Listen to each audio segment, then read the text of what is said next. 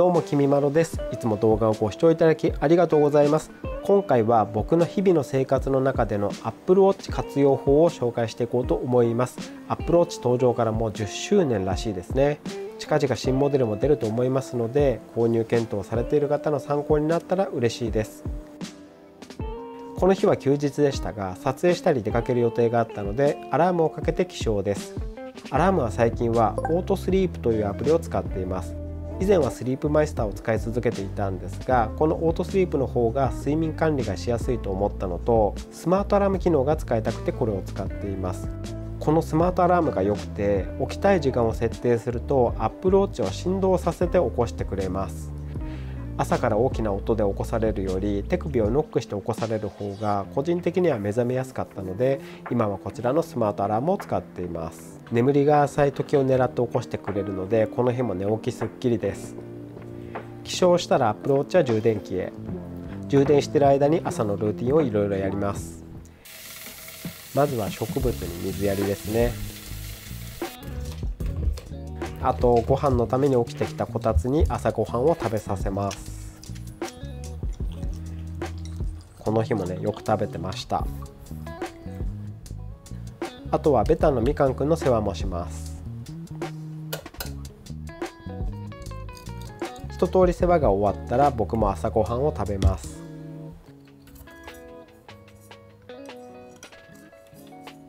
あとはシャワーを浴びたりしているうちにモーニングルーティンはだいたい終わりです。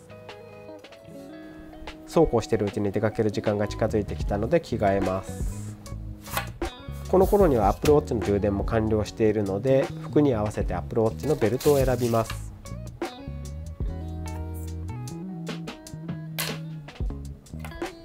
この日はオブジェクツ IO のレザーベルトにしました。この iPhone の Face ID で Apple Watch のロックが解除できるのってね地味に便利ですよね。で表に出ましたけどこの日もめちゃくちゃ暑かった。Apple Watch の iOS 純正の天気アプリでこの日の天気を確認しています。純正の天気アプリは視認性も高くてね好きなんですよね。しかしね36度は暑すぎです。水分補給をしなきゃということでコンビニに駆け込みました。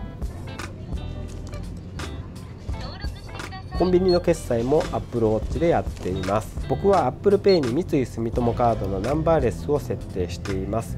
対象のコンビニでクレカタッチ決済で支払うとポイントが7%つくのでねおすすめです。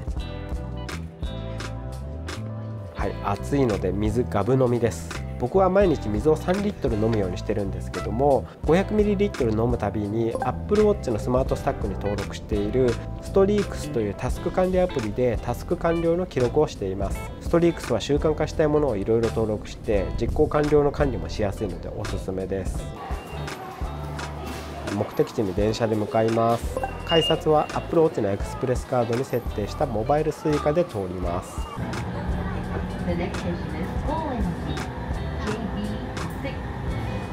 はい駅に着きました。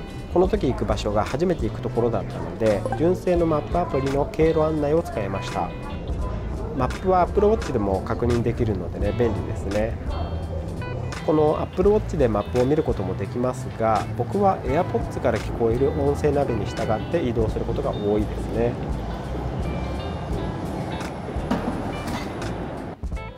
まあ、たまに Apple Watch でマップ確認して道がそれていないかっていうね再確認をしたりします。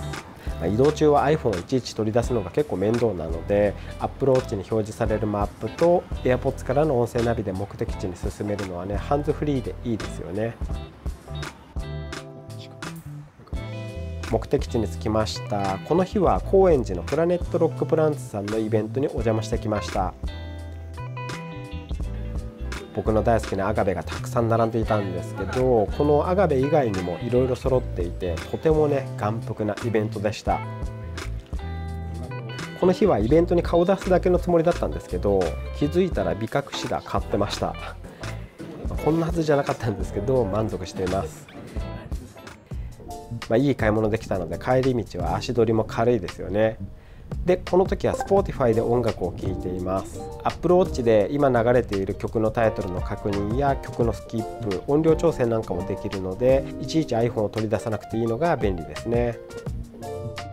歩き続けていたらまた喉が渇いてきたので水を買って飲みました。ここでももちろんアップルウォッチを使って決済。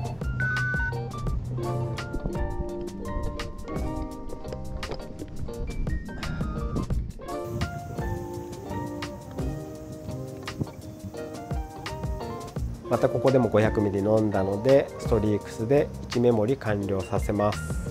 あといつも食後にサプリも飲んでるんですけどもこれも飲み忘れないようにストリークスにタスク管理してサプリも飲んだら1メモリ完了させます。あと帰りにスーパーで買って帰りたいものを思い出したのでリマインダーに登録します。シリ買い物リストにブロッコリーとオイスターソースを追加してこれも Apple Watch に話しかけて Siri を使ってリマインダーに直接登録しちゃいます。ちなみにリマインダーに買い物リストという名前のリストを作っておくと自動的に品目を振り分けてくれるのでこれ便利なのでぜひ使ってみてください。あと僕は毎日1万歩以上歩くようにしていてこの歩数管理も Apple Watch でやっています。Apple Watch のコンプリケーションに登録できる Duffy という歩数計アプリを使っていてこれはねアプリを立ち上げなくても Apple Watch の文字盤で直接歩数確認できるのでこれ使いやすくていいんですよね。しばらくしたらちょうどお天気アプリの雨見るに通知が来ました。この雨見るはスマートスタックにも登録できるしこんな感じで Apple Watch 上で雨雲レーダーも見られるのでこれがね便利なんですよね。ちなみにこの日通知来ましたけども小雨が降る程度でした。ゲリラ豪雨じゃなくてよかったです。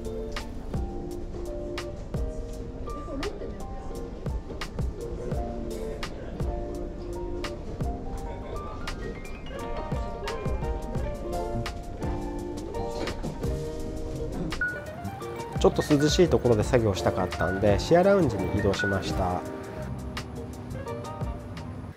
はいシェアラウンジに着きましてここでちょっと作業しました。で MacBook を開く時ですけども Apple Watch と MacBook に同じ Apple ID でログインしていれば MacBook を開くだけで Apple Watch がロック解除してくれます。これも地味に便利ですよね。でしばらく作業していたんですけど、まあ、動画編集とか作業に没頭しているとつい座りっぱなしになっちゃうんですけどもこんな感じで1時間座りっぱなしだと Apple Watch がそろそろ立ち上がるようにというふうにね通知してくれるのでこれも助かりますね。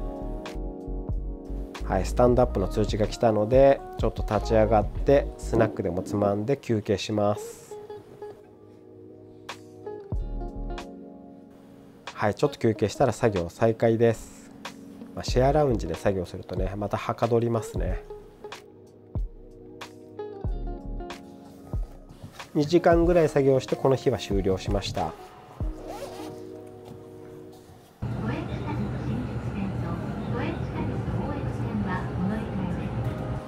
電車を待っていたらスイッチボットのこたつの見守りカメラから通知が来ました。この通知もアプローチで受けられるようにしています。で動体検出ということで見てみると長い眠りから覚めたこたつがね水飲んでますね。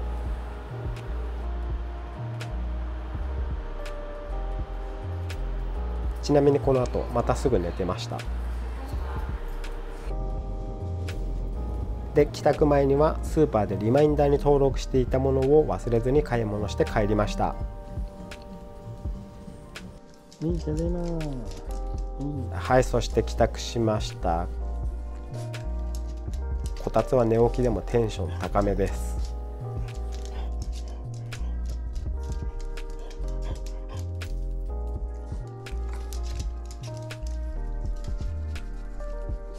帰宅したらまた Apple Watch は充電器に戻します。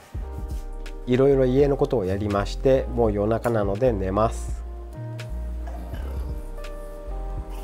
ここでまた Apple Watch をつけます。